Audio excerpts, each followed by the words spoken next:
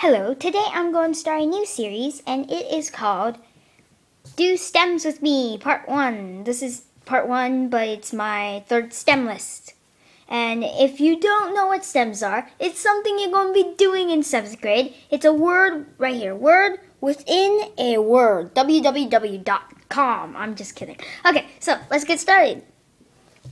So, this week's lesson, we are going to learn un means not. The way you would use this, I'm pretty sure you learned this one in like third grade or something. Undone, unbalanced, unqualified. So like un un un you use un a lot, okay? So yeah, I was actually taught that in like second grade because un is really used and it's just yeah. So anyway, maybe not second grade, but definitely not just seventh grade. Anyway, uh yeah, by the way, I'm in seventh grade. I know I don't look tall, but I'm in seventh grade. okay. Uh, uh, so, next one, you might not know this one. Archie. Government. And the way you would use this is monarch. Mon- Archie. Archie? Archie? Archie? Archie. Okay. One of those. uh, monarchy. Archie. Arch, Archie or Archie anarchy, and this has something to do with government. Um, tell you the truth, I'm not sure what those words are. They're kind of hard words. Okay, let's go to the next one. R, as in always. I'm not sure what these words have to do with always, but dullard, coward, sluggard. I know that means like uh, sluggard, they're like, uh, I'm so tired.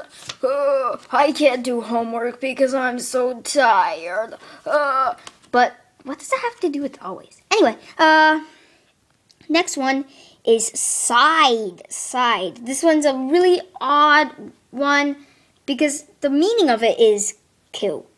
Yeah. Um, rated R. I'm just kidding. Uh, it's yeah, you're gonna be learning it in class, so it's educational. Okay. Uh, uh, kill like pesticide. You kill pests. In other words, like bugs. Homicide. Yeah, that's a little odd one. You. Let's go on. Genocide. Let's go on. Um, yeah. So that's one. Yay. Stems. Okay. Ishin. This one's really cool and you use it a lot in your lifetime. It means specialist because you use it in musician, mathematician, physician. Uh, I'm pretty sure you heard that one before. Scientificician. Okay, that's not one. I was about to. I was trying to be smart. okay. Let's go on. Itis. Now this one I've actually never heard it really so much. I'm pretty sure it's like a, one of those quote unquote smart words. Smart, smart, smart fail, lifting up both hands. Uh, itis is infection, and you would use in tonsillitis, arthritis, and that's a very, very, very, very hard words. The next one is, as you can, you probably know this one since like you probably know this one since a long time ago. Aqua, uh, water, audi here.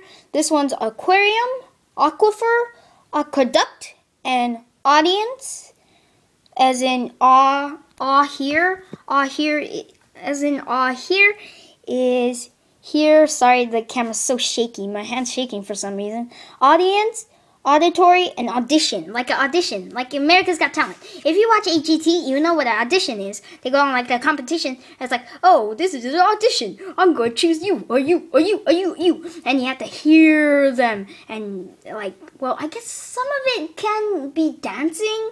You have to see that, but you know, sometimes you hear that and auditory is like where you hear things i guess. Audience yeah audience they like they hear or like they see or they listen to what you're doing and all, all that yeah.